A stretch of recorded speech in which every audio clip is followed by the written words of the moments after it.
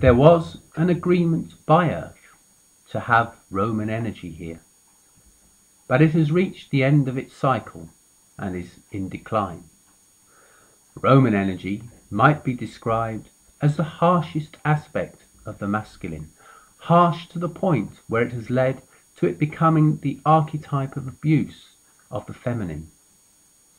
We are at a time in our planetary history where the two primal energies of yin and yang are shifting in their relationship. Like two arches intersecting, the arch of the yang journey has reached its crest and is now on the descent. The arc of the yin energy is still ascending. They are at a crossing point where they have reached a place of equality.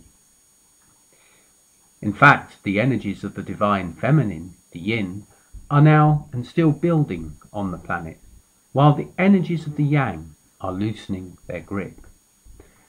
When women understand this, they can transform the anger and fear from past abusive treatment into compassion.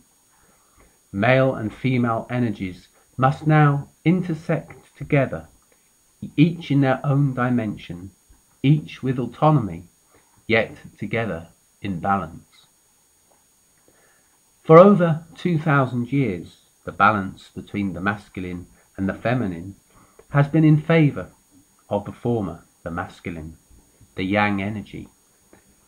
And it has been something that we have experienced as part of our human evolution.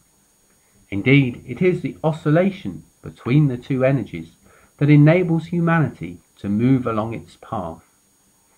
In times of great change, it is feminine energy that comes to the fore, and it enables us to take a quantum leap forward.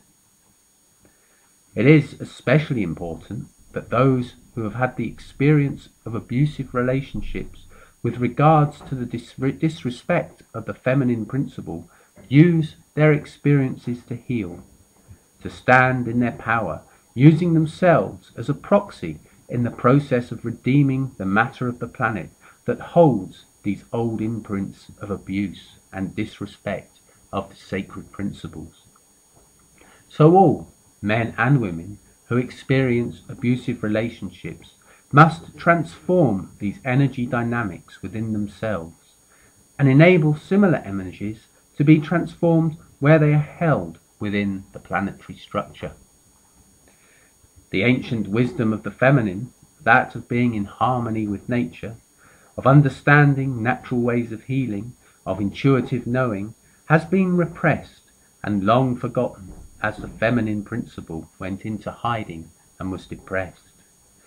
However, there have always been those on the planet who have held that wisdom within their cellular memory to keep that flame alive. They are the temple keepers, the priestesses of old, who have maintained an unbroken vibration with the ancient wisdom.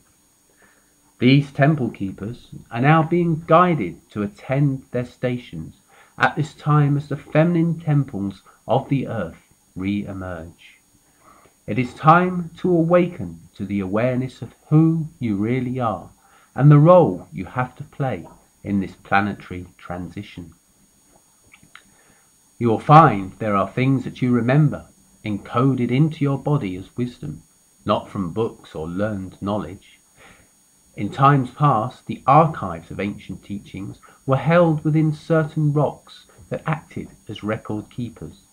There are many now who are accessing these records, and more will come as the feminine energies become more and more fully available on the planet.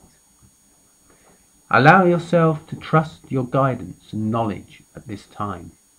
The new teachings for the planet will be awakened through this type of feminine knowledge, as living libraries as the ancient Lemurian temples begin to arise again. Temple keepers will be able to be perceived by more people as their own inner wisdom is revealed to them.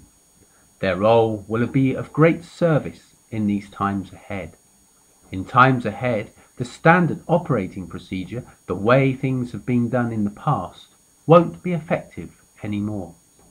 This will mean that humanity will develop new ways of adapting The grids which are emerging hold the new template, and those of you in this work are helping to hold the energy for this transition to happen. This is an important time for those of you who are performing this role.